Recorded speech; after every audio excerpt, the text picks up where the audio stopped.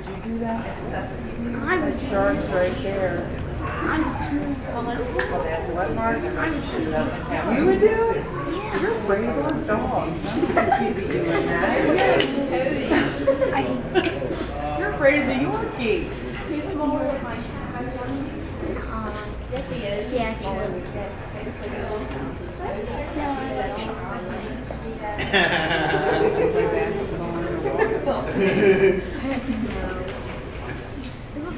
slightly.